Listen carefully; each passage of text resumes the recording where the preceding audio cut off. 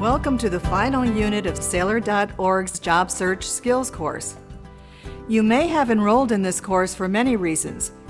Maybe you were laid off from your job, or are looking for your very first job, or perhaps you are ready to take that next step up the career ladder, or even desire to change careers completely. Whatever your reason for embarking on a job search, you are probably, and very understandably, experiencing a high level of stress. Although it may seem that you are becoming overwhelmed with negative thoughts, unproductive behaviors, and uncontrollable emotions, you will learn in this unit that stress can be managed and that you are just the one to do it. The first step in learning to manage our stress is to identify the specific causes. Do they relate to long term stressors or are short term stressors getting the best of you? Once we can put a label on our source of stress, we can begin to learn and apply coping skills that will put us once again in the driver's seat.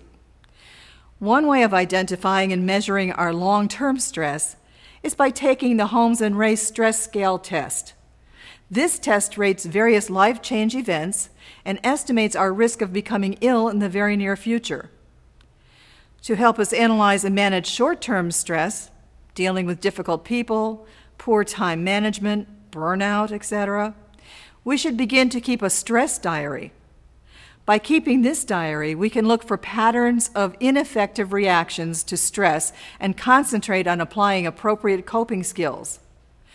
This unit will provide you with a stress diary template that you may find helpful throughout your job search. This unit will also ask you Are you a positive or negative thinker?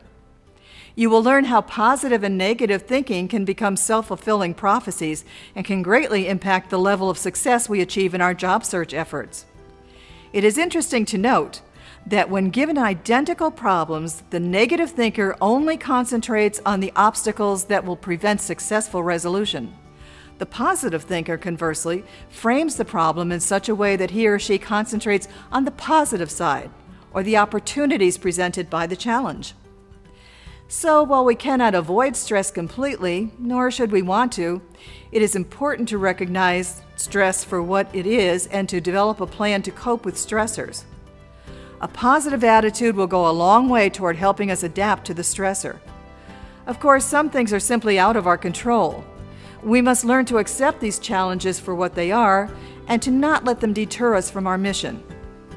However, if we suspect that ineffective time management is causing us stress, it is important to organize our daily schedule to include some fun and relaxation during this time of change. We wish you the best of luck.